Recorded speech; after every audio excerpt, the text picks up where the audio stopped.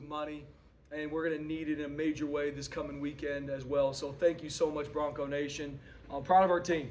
And I got to give God all the glory. Thank you, Jesus, for the victory. I'm proud of our team. I'm proud of us growing. We still got a long way to grow. And no different from the first two games to this one, it's all about what did you learn, where are you growing to? And the, the end result is really irrelevant. You win by a lot, you lose by a lot, you lose by a little, you win by a little. It's still, what do we learn, where are we growing to? And I promise you, in all three phases, it's going to be no different with our staff tomorrow when we look at it, no different for our team meeting on Monday. It's all about, okay, where are we growing to? Because the goal is to continue to get better every week. Um, a couple shout outs. I mean, Matt Lauder, a guy that I've talked about these first two weeks that didn't maybe have the production, but was doing everything we asked him to do, from making the hard blocks, open, weren't able to get him the ball, and he was able to come, come up in a major way today. I mean, that's who he is. That's how he practices. That's who he is for this team. Huge shout out to him. Um, he's a guy that, like I said, continues to show it in practice and, and a guy that I cannot be more proud of. I'm proud of a couple guys on our D line too. I mean, Sheldon Newton continues to do some really good things for us. A guy that um, you know, was first year was here last year, kept getting better. I think he's played. He's playing his best football right now. Even Mike Callahan going out there, Braxton Fely, Herbert Gums. I mean, our front D tackles are doing some really good things, um, and, and, excited for them to keep learning and growing. So. Um, I'm, I'm, sure I'm probably missing some guys. To give a shout out Dylan Riley, a young true freshman. Everybody's been hearing about Ashton Jeanty and Sire Gaines, and rightfully so. They deserve that. Um, but excited to see him come on the scene, have that big time touchdown. I mean, T. Crow, you know, one of our senior leaders, does a lot for us on special teams, and him being able to get that touchdown was huge. Our O line being able to rotate a lot of guys, get a lot of guys um, some reps is going to help us in the season. The depth that we can create in some of these games, that we can get these guys out there to cut their teeth on O and D and special teams is a huge deal. So thankful for the win, proud of the win. We still got a long way to, to go, and I'm excited to continue to learn and grow. We know we're going to need our, our best football at hand this coming weekend you touched on a couple of them in your opening statements, uh, but you know, running backs, you showed your wealth of them tonight. You know, just what do you like from that group, and you know, what's it what's it like to have a a, a position that be that deep at that position? Yeah, I mean, first off, Coach J Mo does a great job with our running backs. The run game from Coach Cutter to Coach Potter, Coach Keen, the setup runs. I mean, it's so it's, it's very detailed. It's a, it's a plan of attack. Um, and I'm, I'm, very proud of those guys. I mean, we've got a lot of weapons in that backfield, um, and, and they're a lot, and they're different in their own way too. Ash is a little bit different than inside. Dylan's a little bit different than those guys too. So we got some really good compliments, and we're excited to get Breezy back here soon too. Did Portland State kind of dictate Lauder having that big game, or was that kind of the game plan going in? Lauder knew he was going to be the, the focal point on most of the passing. Yeah, John. I mean, there's a couple calls, you know, a couple screens that are designed to truly get Matt the ball. But there was a couple throws in Oregon that was designed to get Matt Lauder the ball, but the coverage dictated a throw going somewhere else. Because obviously, pass game is is very dependent on what kind of defensive look and coverage are we getting. Um, Coach Cutter and the offense did a really good job knowing the top coverages we're going to see in these situations and being able to set up Matt. Lauder. I mean, Matt Lauder is a matchup nightmare, and being able to put him in situations to do what he did tonight is a huge deal you were able to get you know pretty deep down the bench, you know, for the late in third quarter and the whole fourth quarter. How, how, nice was that? And also, what was kind of the plan shutting down Ashton at halftime there? Yeah, BJ, it's huge. I mean, it's huge for the depth of our team. I mean, the the, the long season where we need to go. We, we're a developmental program. Those game reps are critical because everybody's at a different place with 115 young men on this team. Some are the number two that, that think and believe they're the starter. They just need to go put on film. Some are the threes, the fours that just need to keep learning and growing. I mean, we put some guys out there today that were on scout team all week. That we got to be able to coach them up on the sideline and be like, hey, come on, this is what we're going to be calling, this is what we're going to be doing, and we're counting on them to steal reps and meetings and be ready to get in. So the, the depth you're able to create by being able to rotate guys later in this game is huge.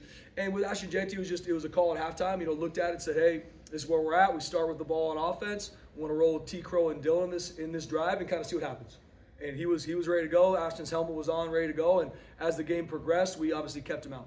How do you decide when to shut a guy down or when to rotate? Is it just a feeling, or do you have a plan kind of going into the game? Yeah, there's a feeling. You feel kind of how the game's going, but I, I take a lot of info with going through some of those things. Because obviously, I've been a part of situations in a negative way where you start pulling guys out too early, you lose momentum, you lose the edge, and then you let a team come back in a game. That obviously can't happen. So um, it's a fine line. We got to be very smart with it, but I also we're a developmental program. We got to get guys reps in games because it's the best teaching tool you can. You, the only way to get better at football is playing it, and we got to get guys in there to get them better. What's that communication like with with JMO? Because you, you got I don't know if there's any update you give us on Sire, but you decide to sit Asher for the second half, and that leaves you with Tyler Crow and the kid that hasn't, hasn't played before, and then apparently even uh, Wilkie's working his way back into running back now. So what's that communication like, and can you say anything about Sire? Yeah, it was constant communication between me, Coach JMO, Coach Cutter. We met at halftime about Ash and a couple guys, and, and that was my decision. Was like, hey, we're going to sit him for this drive. I, I trust T. Crow, seeing how Dylan Riley uh, performed in practice, because like I've talked about before, for the guys that get in this game, depending on where they're at in the depth chart, it's all from what they do in practice. It's not what we hope. It's not what their high school or, or JC film looked like. It's what they do here. And the guys that we put in in order, you know, earned it. And so I've seen T. Crow, I've seen Dylan Riley do a really good job in practice, and we knew that they can go out and do the same thing and, and made that decision with taking a lot of information because it's a fine line. In regards to Saturday games, we'll look at it tomorrow. I know our doctors are looking at it. Um, and we'll find out more Sunday. You obviously wanted to work on the passing game, you know, after the Oregon game. How do you think Maddux played, and then also uh, getting Malachi in there? Yeah, I thought Maddux was really efficient. Made some really good throws. Obviously, when we watch the film, there's gonna be a couple that I know he's gonna want to have back, some decisions, whatnot. But proud of how he's efficient with our offense. He knows the offense. He knows how to move the offense. He makes the right throws. He's very efficient with it. Um, it's a testament to how he preps, and he's a competitor. I mean, he's going to find a way to keep the chains moving. I mean, I don't know how many times we punted with with that group on the field, but it wasn't much and that's just an efficient offense that he's been able to create. It was awesome getting Malachi some reps, get him out there. Once again, the feel of being on the field, game game reps are so valuable. And what you do in practice and then what you do in the game, and then it's gonna be great to look at it and continue to find ways for him to continue to learn and grow. And I know he wants to. Cameron Bates scored his first collegiate touchdown. It seemed like it was an intentional play to you know get him the ball there. But how about him? I'm assuming not, not necessarily supposed to. Well, it's not designed to probably cut it back like that. So how much did he just go make a play at one point? it's designed to score a touchdown. You know what I mean? That's how we, you know. But I mean, Cam Bates is a weapon now. I mean, he's going to only continue to get better as a true freshman. Him, him like Dylan. I mean, they got here in June, and seeing him grow in his knowledge of the offense. So we're trying. I mean, he's, he's got a ton of juice, and so seeing him get the ball in his hands, him making moves and scoring. Um, was was awesome to see. We're going to continue to find ways to get 80 the ball. Every single offensive drive for you guys today was under five minutes. Just what can you say about that efficiency and speed? yeah, I mean, it's a testament to our offensive staff, first off, Coach Cutter and every offensive coach, and the buy in of our players. And, and we know who we are offensively. We're going to run the ball, we're going to use our explosive run attack to set up our pass game. I mean, that's who we are. That's how we're going to attack defenses, and we're going to be very efficient with it. You need to. That is the only way to play offense is to, is to be efficient. Inefficient on first down creates second and long, which then creates third and long, right? That's inefficient. And we've had a couple of those things come up in this season. We've got to continue to be better at, but we did some really good things tonight with uh, T. Crow being such a big part of this team for the last couple of years, but not always as a ball carrier, how, how meaningful was it to get his first touchdown since since 2021? It looked like a huge celebration for his teammates. Yeah, but you can see when he scores that touchdown the love that his teammates have for him because they got a ton of respect for Tyler. I mean, he's a, he's a guy that is blue collar from Idaho, does everything that we ask him to do, the hard stuff on special teams. He figures out a way, and he's a great teammate. He loves his teammate he's that guy that does all the, you know, everything you need to be successful in this program, he does. So seeing him score that touchdown, and I mean, the, the sideline erupted, that's a testament to who he is as a teammate, too. With this, uh, Matt, Sheldon, you brought up Sheldon Newton, and uh, he used to just be a big dude. Now he's a big dude. That, I mean, he looks like he can legitimately move a little no bit. No question. How, how, much, I mean, he's a six-year guy, like, but how much is he still, you know, coming into his own almost? Oh, I mean, how how Sheldon was able to transform his body from when he got here last a year ago January to now. I mean, it's a testament to his hard work. Coach Hilgard, Coach Chin's working with him. I mean, he is playing his best football right now, and the amount of weight he's lost, how strong he is, and that's a testament to how he trained. I mean, his first summer here, decks were hard. It, it, it took him to the end. I mean, he crushed him this summer. So what he's doing now is not shocking for the guys that have been around him because I saw him train in the offseason, saw him have his summer training, and he's moving and playing at a way in a way that um, is exceptional. I mean, he's doing some amazing things. Obviously, there's still some things that I'm excited for him to grow in. But I mean, you look at last week, this week, or two weeks ago we played Oregon, and now I mean he's he's a dominant force inside. He's only going to be better. With special so you, you were six for six tonight in the red zone. I think you came into this game nine of nine. Most of these are touchdowns. Mm-hmm. What are you seeing from the red zone offense?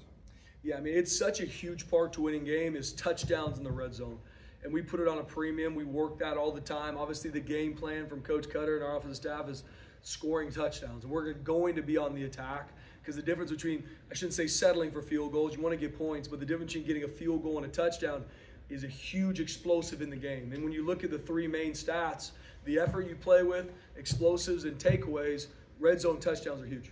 Special teams, uh, some good and some bad. You know, the two blocked kicks, but uh, muffed punt, you know, Yep. and then uh, 13 yard punt from JFR too. I mean, just what'd you see on special teams?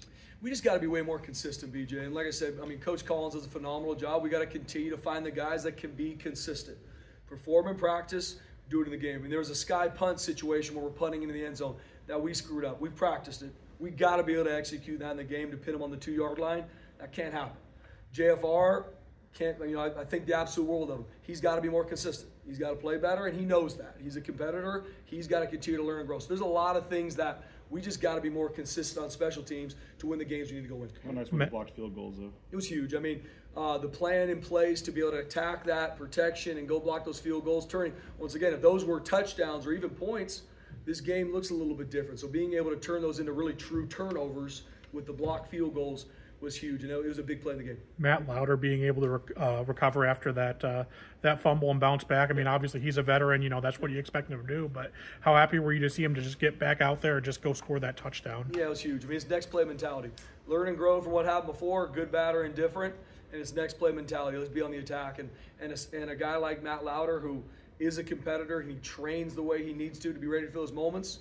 He corrects it, he moves on, and we have the you know full trust in Matt Lauder. Do you have a different, it, it feels like in the past when it almost like someone would be punished if they put the ball on the mm-hmm. ground, but everybody go back to Sire Gaines at Georgia Southern, this, you know, tonight with Matt Lauder, like you, you don't, you don't, it's not in-game punishment, it doesn't feel like, so. Yeah. What, what's your, what's your thought on that or your process there? Yeah, I want, I want our players to trust their training. You know, here we put a premium on our practice performance, like I keep saying, and and so from the ball security drills to how we carry the ball in practice, these guys have the right habits.